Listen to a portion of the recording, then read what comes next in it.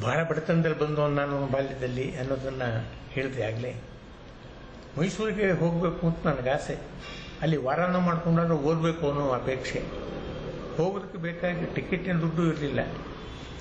ಕೈಯಲ್ಲಿ ಕಾಸಿಲ್ಲದೆ ಟಿಕೆಟ್ ಕೊಡದೇನೆ ರೈಲು ಹತ್ತದೆ. ನನ್ನ ಅದೃಷ್ಟ. ನಾನು ಕ್ಷೇಮವಾಗಿ ಮೈಸೂರು ತಲುಪಿದೆ. ಅಲ್ಲಿ ತಾಸು ರಾಯರು ಅಂತ ಮಹಾರಾಜ ಕಾಲೇಜಿನಲ್ಲಿ ಕನ್ನಡ ಅಧ್ಯಾಪಕರು.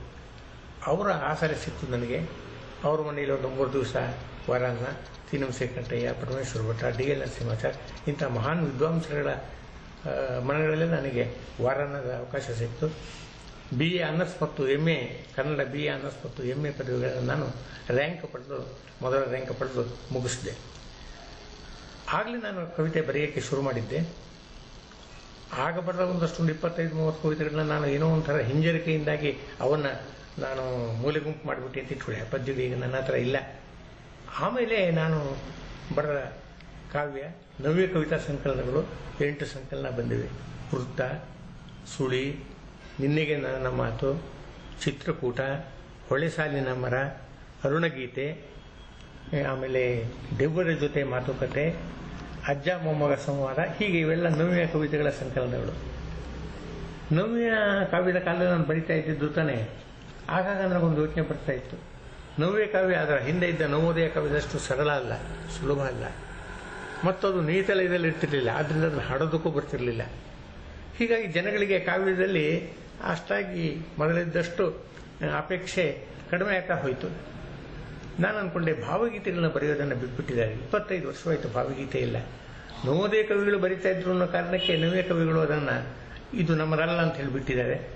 ಆದರೆ ಅದನ್ನು ಮತ್ತೆ ಶುರು ಮಾಡಬೇಕು ಅಂತ ಅನಿಸಿ ಸಾವಿರದ ಒಂಬೈನೂರ ಎಪ್ಪತ್ತೈದರಲ್ಲಿ ನಾನು ಭಾವಗೀತೆಗಳನ್ನು ಬರೆಯೋದಕ್ಕೆ ಶುರು ಮಾಡಿದೆ. ಮೊದಮೊದಲು ಮೊದಲು ಒಬ್ಬಿಬ್ಬರು ಕವಿಗಳು ರಾಮಚಂದ್ರ ಶರ್ಮರಂಥವರು ಇದ್ರ ಬಗ್ಗೆ ಅಸಮಾಧಾನವನ್ನು ಪ್ರಕಟಿಸಿದ್ರು. ಆದರೆ ನನಗೆ ಒಂದು ಮನಸ್ಸಿನಲ್ಲಿ ಚೆನ್ನಾಗಿ ಯೋಚಿಸಿಕೊಂಡಿದ್ದೆ, ಇದು ಸರಿಯಾದ ಮಾರ್ಗ ಅಂತ.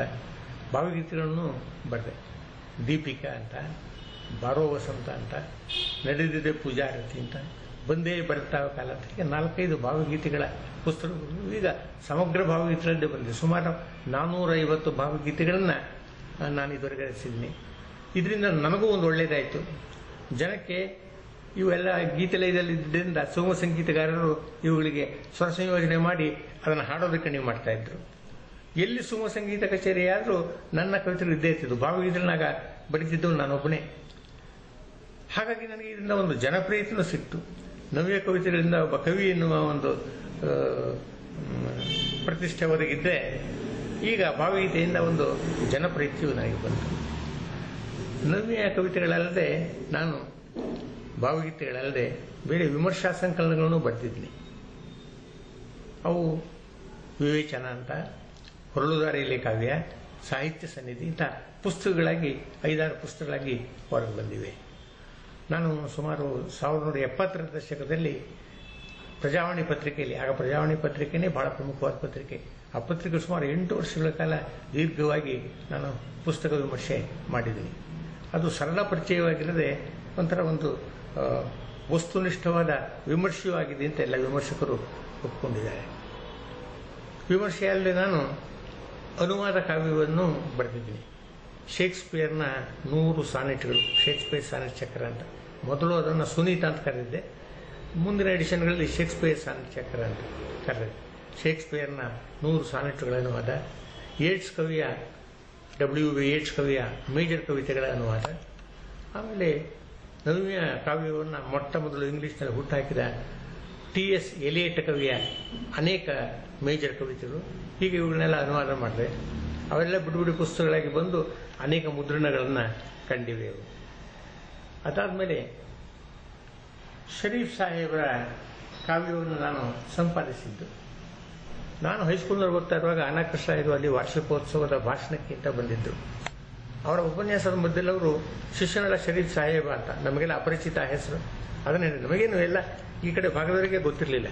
ಅವನ ಒಂದು ಪದ್ಯದ ತುಂಡನ್ನು ಉದ್ಧರಿಸಿ ಇವನೊಬ್ಬ ಭಾವೈಕ್ಯದ ಸಂಕೇತ, ಹುಟ್ಟಿನಿಂದ ಮುಸ್ಲಿಮ, ಇವನ ಭಾಷೆ ಉರ್ದು, ಕನ್ನಡವೂ ಬರ್ತಿತ್ತು ಕನ್ನಡದಲ್ಲಿ ಬರೆದಿದ್ದಾನೆ ಇವನು. ಎಷ್ಟು ಸೊಗಸಾದ ಕವಿತೆಗಳು. ಇದಕ್ಕೆ ಎರಡೆರಡು ಅರ್ಥ. ಒಂದು ಹೊರಗಿನ ಲೌಕಿಕ ಅರ್ಥ, ಇನ್ನೊಂದು ಪಾರಮಾರ್ಥಿಕ ಅರ್ಥ ಅಂತ ಅದನ್ನೆಲ್ಲ ವಿವರಿಸಿದ್ರು. ಆ ಮಾತು ನನ್ನ ಮನಸ್ಸಿನಲ್ಲಿ ನಿಂತು ಬಿಟ್ಟಿತ್ತು. ನನ್ನ ಹೈಸ್ಕೂಲ್ ಆದರೆ ಮುಂದೆ ಅವನ ಪದ್ಯಗಳಲ್ಲಿ ಆಸಕ್ತಿ ಹೆಚ್ಚಿ ಅವುಗಳನ್ನೆಲ್ಲ ಎಲ್ಲೆಲ್ಲಿ ನೋಡೋ ಹುಡುಕಿ ಸಂಪಾದಿಸಿ ಶರೀಫರ ಗೀತೆಗಳು ಅಂತ ಒಂದು ಪುಸ್ತಕವನ್ನೇ ತಂದೆ. ಹೀಗೆ ಬರೀ ಸುತ್ತಮುತ್ತಲ ಹಳ್ಳಿಗೆ, ಶಿಶುನಾಳ ಹಳ್ಳಿಗೆ ಮಾತ್ರ ಪರಿಚಿತನಾಗಿದ್ದ ಶರೀಫ್ ಈಗ ಇಡೀ ಕರ್ನಾಟಕವನ್ನೆಲ್ಲ ಆವರಿಸ್ಕೊಂಡ. ಮುಂದೆ ಕ್ಯಾಸೆಟ್ ಕಾಲ ಬಂದಾಗ ನಮ್ಮ ಅಶ್ವತ್ಥರಂಥವ್ರು ಸಿ ಅಶ್ವತ್ಥರಂಥವ್ರು ಅವುಗಳಿಗೆಲ್ಲ ಸಂಯೋಜನೆ ಮಾಡಿ ಸುಮಾರು ಆರು ಏಳು ಶರೀಫರ ಕಾವ್ಯದ ಕ್ಯಾಸೆಟ್ಗಳನ್ನು, ಮುಂದೆ ಅವು ಸಿಡಿಗಳದು ಅದನ್ನು ತಂದರು. ಹೀಗೆ ಶರೀಫ್ ಹೆಸರು ಈಗ ಇಡೀ ಕರ್ನಾಟಕದ ಎಲ್ಲ ಕಡೆಗೂ ಗೊತ್ತಿದೆ ಇದು ನಾನು ಮಾಡಿದ ಒಂದು ವಿಶೇಷವಾದ ಕೆಲಸ ಅಂತ ವಿಮರ್ಶಕರು ಭಾವಿಸಿದ್ದಾರೆ. ಇದರಲ್ಲಿ ನಾನು ಮಕ್ಕಳ ಸಾಹಿತ್ಯದಲ್ಲೂ ಕೆಲಸ ಮಾಡಿದ್ದೀನಿ. ಮಕ್ಕಳಲ್ಲಿ ಉಂಟಾಗುವ ಕಾವ್ಯ ಪ್ರೀತಿ ಅಥವಾ ಸಾಹಿತ್ಯ ಪ್ರೀತಿ ಮುಂದೆ ದೊಡ್ಡಾದ ಮೇಲೆ ಅವರಲ್ಲಿ ಬೆಳಿಬೇಕಾದ್ದು. ಆದ್ದರಿಂದ ಮಕ್ಕಳನ್ನು ಅಲಕ್ಷಿಸೋದಲ್ಲ ಅಂತಂದು ಬರೆದಿನಿ ಅನೇಕ ಮಕ್ಕಳ ಕವಿತೆಗಳನ್ನು. ಅದರಲ್ಲಿ ಕೆಲವು ಅಂತೂ ಒಂದು ಎರಡು ಮೂರಂತೂ ಇಡೀ ಕರ್ನಾಟಕದಲ್ಲೆಲ್ಲ ಮಕ್ಕಳ ಬಾಯಿ ಪ್ರಚಲಿತವಾಗಿವೆ. ಬಹಳ ಒಳ್ಳೆಯವರು ನಮ್ಮ ಮಿಸ್ಸು. ಏನು ಹೇಳಿದರು ಎಸ್ ಎಸ್ಸು ನಗ್ತಾ ನಗ್ತಾ ಮಾತಾಡ್ತಾರೆ. ಸ್ಕೂಲಿಗೆಲ್ಲ ಫೇಮಸ್ಸು ಅನ್ನೋ ಪದ್ಯ ಅಂತೂ ಬಹಳ ಜನಪ್ರಿಯ. ನಾನು ಯಾವ ಒಂದು ಹೈಸ್ಕೂಲಿಗೆ ಸಮಾರಂಭಕ್ಕೆ ಹೋದರೂ ಕೂಡ ಅಲ್ಲಿ ಚಿಕ್ಕ ಮಕ್ಕಳು ಇರ್ತಾವಲ್ಲ ನರ್ಸರಿಯವು ಮೊದಲನೇ ತರಗತಿಯವು ಅವುಗಳೆಲ್ಲ ಈ ಹಾಡನ್ನು ಹೇಳ್ತವೆ. ಮಿಸ್ಗಳೇ ಅದನ್ನು ಅವಕ್ಕೆ ಹೇಳಿ ಕಳಿಸುತ್ತೆ. ಯಾಕೆಂದರೆ ಮಿಸ್ಸನ್ನು ಹೊಗಳುವಂಥ ಪದ್ಯ. ಹೀಗೆ ಇವೆಲ್ಲ ತುಂಬ ಜನಪ್ರಿಯವಾಗಿವೆ. ಗೇರ್ ಗೇರ್ ಮಂಗಣ್ಣ ಟಾಮಿ ಟಾಮಿ ನಮ್ಮೈ ನಾಯಿ, ಸಿಂಹದ ಮದುವೆ, ಹೀಗೆ ಇತ್ಯಾದಿ ಕವನಗಳು, ಮಕ್ಕಳ ಕವನಗಳು ಜನಪ್ರಿಯವಾಗಿ ಮಕ್ಕಳ ಕ್ಯಾಸೆಟ್ಗಳು ಕೂಡ ನನ್ನ ಕವನಗಳದ್ದು ನಾಲ್ಕು ಹೊರಗೆ ಬಂದಿವೆ. ಈಗ ಸಿ ಡಿಗಳು ಆಗಿವೆ ಎಂ ಪಿ ತ್ರೀಗಳಾಗಿ ಹೊರಗೆ ಬಂದಿವೆ, ಐವತ್ತೈವತ್ತು ಪದ್ಯಗಳಾಗಿ ಹೊರಗೆ ಬಂದಿವೆ. ಇದಲ್ಲದೆ ನಾನು ನಾನು ಬೆಂಗಳೂರಿಗೆ ಬಂದಲ್ಲ, ಮೈಸೂರಿಂದ ವಿದ್ಯಾಭ್ಯಾಸ ಮುಗಿಸಿ ಬೆಂಗಳೂರಿಗೆ ಬಂದೆ. ಅಲ್ಲಿ ಆಚಾರ್ಯ ಪಾಠಶಾಲಾ ಕಾಲೇಜು ಅಂತ, ಅಲ್ಲಿ ನಾಲ್ಕು ವರ್ಷ ಅಧ್ಯಾಪಕನಾಗಿದ್ದೆ. ಆಮೇಲೆ ಬೆಂಗಳೂರು ವಿಶ್ವವಿದ್ಯಾನಿಲಯಕ್ಕೆ ನಾನು ಆಯ್ಕೆಯಾದೆ ಅಲ್ಲಿ ಅಧ್ಯಾಪಕನಾಗಿ ರೀಡರ್ ಆಗಿ ಪ್ರೊಫೆಸರ್ ಆಗಿ ಕಡೆಗೆ ಅಧ್ಯಯನ ಕೇಂದ್ರದ, ಅಂದರೆ ಕನ್ನಡ ಡಿಪಾರ್ಟ್ಮೆಂಟ್ನ ಡೈರೆಕ್ಟರ್ ಆಗಿ ಆರ್ಟ್ಸ್ ಫ್ಯಾಕಲ್ಟಿಯ ಡೀನ್ ಆಗಿ ಈ ಕಡೆಯಲ್ಲಿ ನಾನು ನಿವೃತ್ತನಾದೆ. ಆದಮೇಲೆ ನಾನು ಲಾಸ್ ಏಂಜಲೀಸ್ನ, ಅಮೆರಿಕದ ಲಾಸ್ ಏಂಜಲೀಸ್ನ ಒಂದು ಕನ್ನಡ ಕೂಟಕ್ಕೆ ಅದರ ರಜತ ಮಹೋತ್ಸವದ ಸಲುವಾಗಿ ಉಪನ್ಯಾಸ ಮಾಡೋದಕ್ಕೆ ಅಲ್ಲಿ ಕರೆಸ್ಕೊಂಡರು. ಆಗ ಅಲ್ಲಿ ಹೋದಾಗ ಬೇರೆ ಬೇರೆ ಕನ್ನಡ ಕೂಟಗಳವರು ನನ್ನನ್ನು ಸಂಪರ್ಕಿಸಿ, ಹರಿಹರೇಶ್ವರ ನನ್ನೊಬ್ಬ ಮಿತ್ರ ಅಲ್ಲಿದ್ದರು. ಅವರು ಕನ್ನಡ ಕೂಟಗಳ ಜೊತೆ ಚೆನ್ನಾಗಿ ಸಂಪರ್ಕ ಇಟ್ಕೊಂಡಿದ್ರು.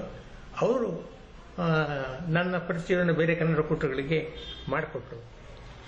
ಅವರೆಲ್ಲ ಆ ಕನ್ನಡ ಕೂಟಗಳೆಲ್ಲ ನನ್ನ ಭಾಷಣಕ್ಕೆ ಕರೆದರು. ನನ್ನ ಮಾತವ್ರು ಹಿಡಿಸ್ತು ಅಂತ ಕಾಣುತ್ತೆ.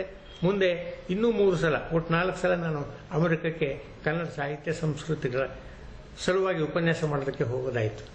ಹಾಗೋದಾಗ ನಾಲ್ಕನೇ ಸಲ ಕನ್ನಡ, ಇಡೀ ಕನ್ನಡ ಸಾಹಿತ್ಯದ ಎಲ್ಲ ಶ್ರೇಷ್ಠ ಕವಿಗಳನ್ನು ಸುಮಾರಾದವ್ರನ್ನು ಕೂಡ ಪರಿಚಯ ಮಾಡಿಕೊಡ್ಬೇಕು ಅಂತೇಳಿ ಸಾಹಿತ್ಯ ಶಿಬಿರ ಅಂತ ಮಾಡಿದ್ರು. ಹತ್ತು ಪ್ರಾಂತ್ಯಗಳಲ್ಲಿ ಅದು ನಡೀತು. New York, New Jersey, Los Angeles ಹೀಗೆ ಇಲ್ಲ. ಸ್ಯಾನ್ ಫ್ರಾನ್ಸಿಸ್ಕೋ, ಈ ಕಡೆ ಇಲ್ಲ. ಡೆಟ್ರಾಯ್ಟ್ ಅಲ್ಲೆಲ್ಲ ನಡೆದು. ಆಗ ನಾನು ಮಾಡ್ಕೊಂಡ ಸಿದ್ಧತೆ ಮೇಲೆ ಒಂದು ನಾಲ್ಕು ಸಿಡಿಗಳನ್ನು ನಾನು ಮಾಡಿದೆ. ಅದರಲ್ಲಿ ಕನ್ನಡ ಸಾಹಿತ್ಯ ಚರಿತ್ರೆ, ಸಂಕ್ಷಿಪ್ತ ಕನ್ನಡ ಸಾಹಿತ್ಯ ಚರಿತ್ರೆ ಅಂತ. ಅದು ತುಂಬ ಒಂದು ಸುಮಾರು ಐನೂರ ನಲವತ್ತು ಸೆಟ್ಟು, ನಾಲ್ಕು ಸಿಡಿಗಳಾದವು. ನಾಲ್ಕು ಸಿಡಿಗಳು ಒಂದು ಸೆಟ್ಟು.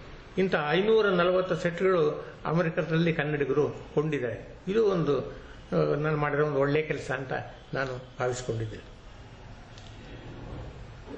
ಅಲ್ಲಿಂದ ಬಂದ ಈಚೆಗೆ ಈ ಸಿ ಡಿಗಳ ಬಗ್ಗೆ ಗೊತ್ತಿದ್ದಂಥ ನಮ್ಮ ಒಂದು ಅಂಕಿತ ಪುಸ್ತಕದ ಪ್ರಕಾಶಕ ಕಂಬಳ್ಳಿ, ಕಂಬತ್ತಳ್ಳಿ ಅವರು, ಇದನ್ನ ಪುಸ್ತಕ ರೂಪದಲ್ಲಿ ತರ್ಬೋದಲ್ಲ? ನೀವು ಇದನ್ನು ಸಿ ಡಿ ಮಾಡುವಾಗ ಓದಿ ಮಾಡಿದ್ದೀರಿ ಅಲ್ವಾ? ಅದನ್ನ ಮ್ಯಾನ್ಸ್ಕ್ರಿಪ್ಟ್ ಇಡಬೇಕಲ್ವಾ? ಅಂತ ಹೇಳಿದರು.